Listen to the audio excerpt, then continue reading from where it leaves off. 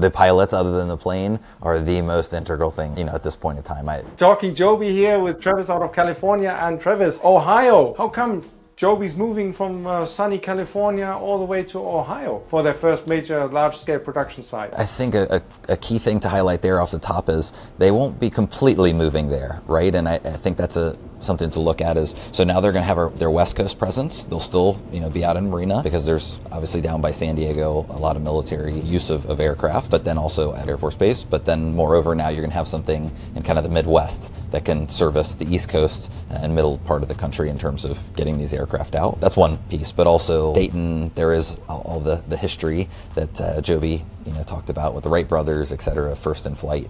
But what I think is most important is the government and in particular DoD. They're going to be, you know, sharing an airport. I don't think any of us need to read too far between the lines why there was probably some other input outside of, of Joby from maybe external partners of why they landed there. And I thought the amount of government officials also that were involved, you know, with the ceremony and a lot of military. You know, I almost hate to say it, but when you look out into the crowd and you see a bunch of white hairs, these are the decision makers. These are the guys who've been, you know, sitting in these small government seats in these these localities for a long time, but you don't know their name, but they have a lot of power. A third of a billion dollars in tax incentives, but the factory is only half a billion. So you start to see, okay, well, they just run away with a $120 million eVTOL factory. I call that a steal as an investor. We have a billion dollars in the bank. So I, I don't know. I think there's a lot of exciting things. And the cash burn rate right now is around 600 million per year. So Joby is good to cross the finishing line without any additional funding at this moment in time. From what we know, of course, subject to change, but that's good for shareholders that uh, they will not have to raise capital, print more shares, and dilute along the way. And you know, look, we have the runway is about two years at this point. Hopefully, in terms of you know the market, we're at least closer to the bottom than than not. But moreover, in those next two years, in terms of burn, there will be some other investment, and you can never guarantee that. Obviously, that the landscape does change, but let's us not forget that there's a 140 million dollars still left in the Delta contract. It's tied to certain milestones. They haven't publicly put out what those milestones are, but I would presume that you know, some of the goals that we have over the next year and a half, two years, in terms of Joby, would unlock some of that investment. And any estimate, Travis, on how many hours would a pilot from Delta need in order to be qualified to fly an S4 from Joby? That's where we have to lean on the, the FAA. I mean, they've only put out kind of some initial conversation or, or discussion about what that's going to look like based off of its powered thrust or, or what exactly they're going to classify this vehicle as. But I would presume that they're not going to have to go through the full regiment as if you were to become a rotorcraft pilot. Hopefully, there'll be quite a bit of synergy between the two. I think we're probably looking at somewhere in the, the range three to six months because I think it would be based more off of timing than hours. Like, what is it going to take to turn on a fleet of Joby aircraft? Well, a fleet of pilots, and they're going to have to turn this on in 2025. The time is ticking. We're already to 2024 of how much time it's going to take to train them. So I think it's less about hours now, but in terms of what does that look like? Does the Joby flight program take three months? Does it take six months?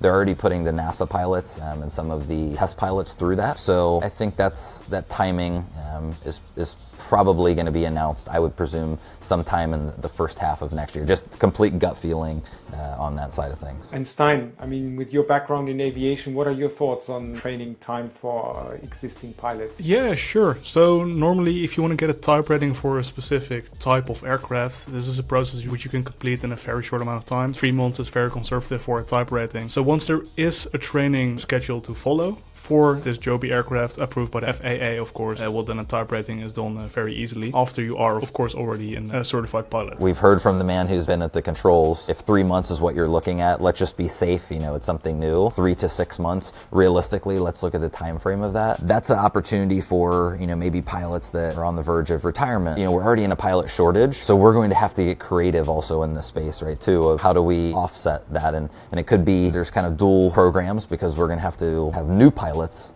as well. I mean, Joby was at a fair and I like put a picture of little kids in the S4, but those are the ones who are going to be, you know, once we get to a scale and making 500 aircraft a year, those are going to be who's flying it, right? It can't be who's pilot today. There just won't be enough. So I think there'll probably be dual parallel programs in that. We'll see. Maybe Joby has their own like official flight school someday. That would be really cool. And also, you know, again, they've already tried to vertically integrate everything else. I don't see why the pilots, other than the plane, are the most integral thing, you know, at this point in time. I'm happy we don't really touch on autonomy because aircraft, I, that's 2030 and beyond. It's not in my investment outlook at all at this point. Yeah, and I can give a bit more color on what different licenses you have uh, as a pilot. There's PPL, which stands for Private uh, Pilot License, and that's basically the most basic tier where you're not allowed to fly with any uh, commercial aim. Then there's CPL, which is a bit more advanced, and then there's ATPL. The one I was talking about is ATPL level, but I can imagine a world where a Joby aircraft would be CPL level, which is quite easy to attain. It's not that expensive even to get a CPL license today. So if they're able to operate under that CPL license, then you're looking at a way shorter time from going from nothing to becoming a Joby certified pilot. And in terms of the Joby business case, I mean, one thing is time to market. The other thing is, uh, of course, being able to scale up production, then having the infrastructure and the partners in place